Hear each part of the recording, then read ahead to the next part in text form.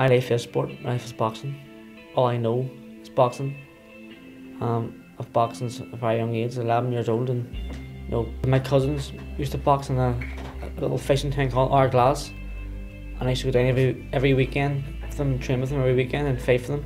Competing at two Commonwealth Games had a great impact on my career, because because once I went to Olympic Games, I was familiar with, with the layout. You know, it was a multi-team sport with different athletes from different all different countries staying in the one village, uh, and more or less replicated the Olympic Games. So it gave me a good experience getting there to, to, to my first Olympic Games.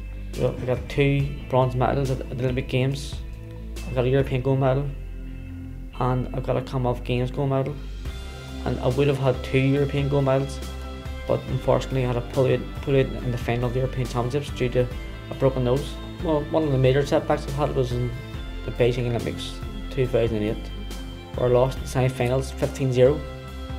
I, I thought I lost the fight, there's no question about it, but you know, it was really, really disheartening not to score a point when I clearly landed blows.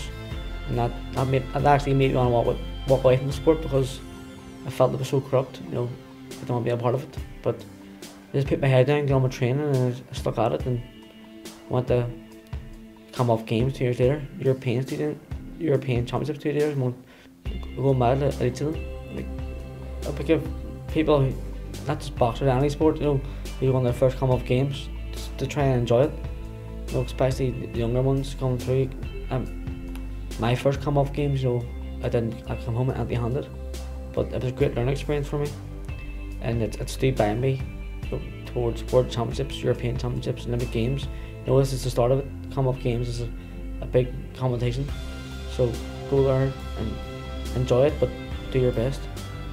People watch, watching TV fighting, but didn't realise like the hardship, what, what was on in the background. You know, training hard, getting up early in the morning. Most of all, the discipline of sticking to a strict diet. Nobody, nobody realises what, what, what was on. All you see is you performing on the night. It's, it's going to be my third Commonwealth Games, and what's even what's even of a greater importance is I'm a defending champion, and I want to go out there and defend my Commonwealth title.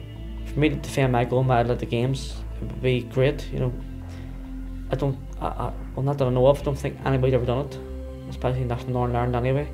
So for me, it's all about creating history, and hopefully I can do that.